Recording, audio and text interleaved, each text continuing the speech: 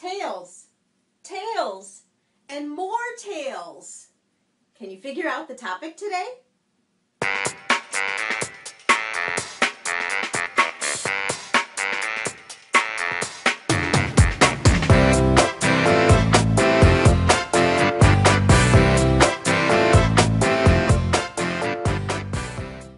Hey, hey, it's Sue, and you are watching Ribbon Print Tales.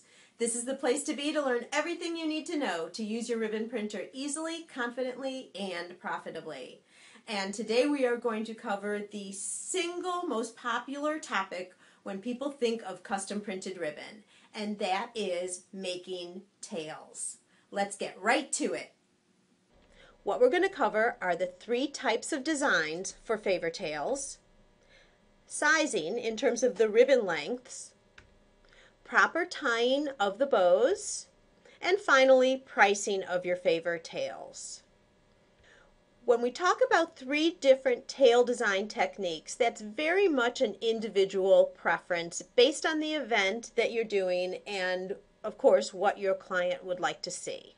The first one is wording on both of the ends only. Here you can see on one side we have a logo and on the other side we have a message.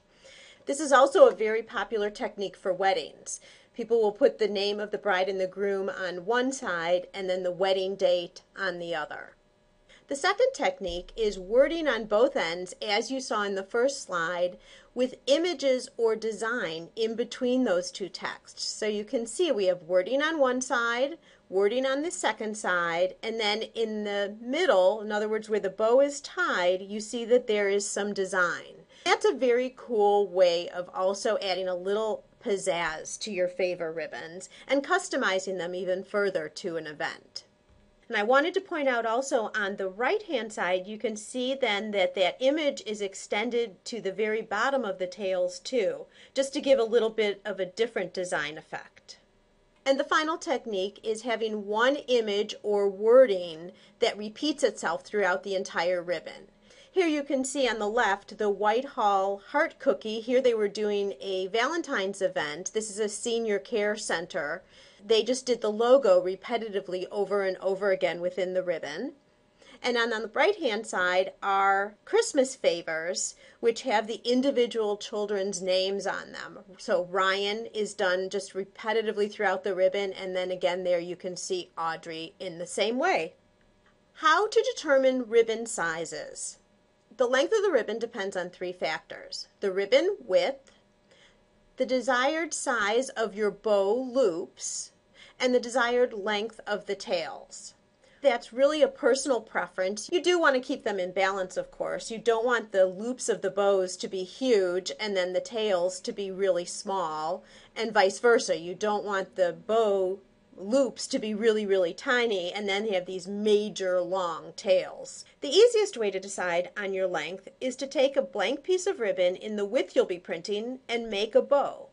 Then simply untie it and measure its length. Really, really easy. Here are some suggestions for favorite tail bow lengths. You can see that, of course, the narrower the ribbon, the shorter the overall ribbon length would be. And this is really, of course, a personal preference based on how big you like the bows, whether you're going to be layering these tails over perhaps additional ribbon material, etc. Moving on, let's talk about how to tie favor ribbons. There's already a YouTube video up that's called, appropriately enough, Tying Printed Ribbon Bows that goes into this in a lot of detail. So the best thing to do is just review this video. And I've got the link right here for you. And also in terms of pricing favor ribbons, back just several months ago, we did a big video series, three parts, on how to price ribbon. The first one covers setup fees. The second one is determining your cost and what your markup should be. And the third one is actually how to take it to market in terms of how to sell custom printed ribbon. So I'm showing you the visuals of all of these three videos as well as the links. And the best thing again to do is go and review all of those because they're very complete and detailed. That's a wrap. I think we've got tails covered. Have a good day, everybody. Bye bye.